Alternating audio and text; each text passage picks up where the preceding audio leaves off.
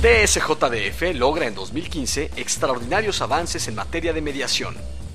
Tradicionalmente, el Tribunal Superior de Justicia del Distrito Federal resuelve controversias entre particulares en juicios que son conocidos por juzgados y salas.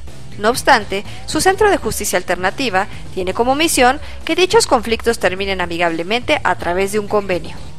Actualmente, a través de la mediación, pueden resolverse controversias en las materias familiar, civil, mercantil, penal y también en justicia para adolescentes. La característica fundamental es que las partes, acompañadas por un mediador profesional, tengan la voluntad de llegar a un acuerdo que resuelve el conflicto entre las mismas, realizando un convenio con valor de sentencia judicial. Gracias a ello, entre 2008 y 2015, la sociedad se ha visto beneficiada con 58.512 asuntos mediados, de los que resultaron 29.170 convenios firmados.